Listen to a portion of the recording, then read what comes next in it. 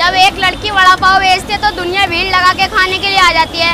मैं एक बच्चा होकर वड़ा पाव बेच रहा हूँ, मेरा खाने नहीं आओगे क्या? सोशल मीडिया की वीडियोस की वजह से दिल्ली की वड़ा पाव गर्ल कितनी फ़ेमस हो गई है आप सभी जानते होंगे। लेकिन अब इस वड़ा पाव वर्ष में एंट्री हुई है एक नए किरदार की जी हाँ 12 साल का एक बच्चा जो इस फ़ेमस वड़ा पाव गर्ल से आधे से भी कम कीमत में वड़ा पाव दे रहा है, मुंबई वाले स्टाइल में, उसी टेस्ट के साथ। और देखते ही देखते इनके वड़ा पाव के स्टोर की सेल भी एक दिन में 30-40 वड़ा पाव से डेली के हज़ार वड़ा पाव से ज़्यादा पहुँच गई है। तो अभी हमें दिल्ली में लक्ष्मीनगर मेट्रो स्टेशन के नीचे, जहाँ पर ये 12 साल का बच्चा वड़ा पाव सेल करता है अपने स्टॉल पर। वैसे तो यहाँ पर इनका स्टॉल पिछले चार साल से लग रहा है, जो की इस बच्चे के अम्मी अब्बू लगाया करते थे। लेकिन यहाँ पर भीड़ आनी शुरू हुई पिछले पंद्रह दिनों से। हुआ ये कि अब से तीन महीने पहले इस बच्चे के अब्बू के पैर में चोट लगी, जिससे वो ज़्यादा देर के लिए खड़े नहीं हो पा रहे थे। तो स्कूल के बाद इस बच्चे ने इनके कार्ड पर आना शुरू किया, जहाँ पर फ़ूड ब्लॉगर्स की नज़र इसके ऊपर पड़ी। एक तो वड़ा पाव, जो की इंटरनेट पर आजकल कुछ ज़्यादा ही ट्रेंडिंग है, ऊपर से उसे बेचता हुआ छोटा बच्चा। बस फिर क्या था, तीन चार ब्लॉगर्स ने इसकी वीडियो बनाई और उन वीडियोस में इस बच्चे ने एक बात बोल दी जो कि उन वीडियोस को देखने वाले लोगों के सीधा दिल तक पहुँची। उसके बाद पूरे दिन कस्टमर्स की राह देखने वाले इस स्टॉल पर कस्टमर्स का मेला सा लग गया।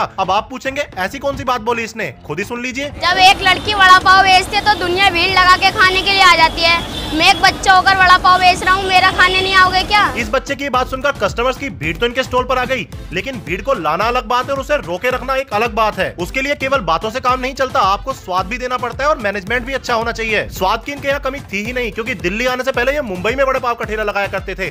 अब जो मुंबई में बड़ा पाव बेचता वो दिल्ली में तो स्वाद ऑब्वियसली दे ही देगा बड़ा पाव में। और रही बात मैनेजमेंट की तो ये बच्चा उम्र में भले ही बारह साल का हो, लेकिन जितनी तेज़ी से बड़ा पाव बनाता है और जितनी तेज़ी से लोगों को उन बड़ा पाव को देता है, वो देखकर तो अच्छे अच्छे चौंक जाए। ये हरी चटनी आ गई है लाल चटनी आ गई है घाटी मसाला आ गया, ये वड़ा आ गया।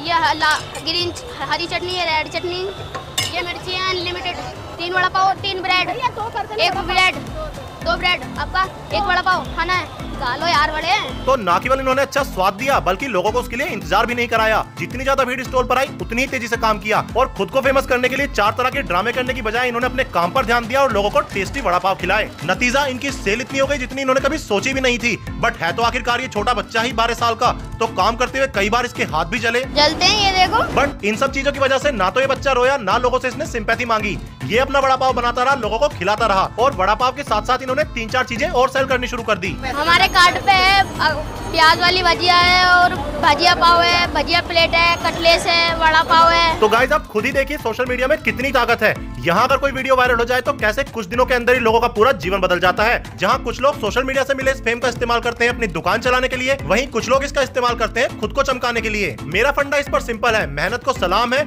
और ड्रामे करने वाले को दूर से ही हाथ जोड़कर प्रणाम है। आप लोगों का इस सब के बारे में क्या विचार है मुझे कमेंट करके ज़रूर बताइएगा। और अगर ये वीडियो आपको अच्छी लगी हो तो इस वीडियो को अपने दोस्तों के साथ शेयर ज़रूर कीजिएगा, जिससे की ज़्यादा से ज़्यादा लोग इस बच्चे के पास जा सके और इस मेहनत करने वाले बच्चे का काम और अच्छे से चल सके। और ऐसी और अमेजिंग वीडियो देखने के लिए मेरे चैनल को फॉलो ज़रूर कीजिए।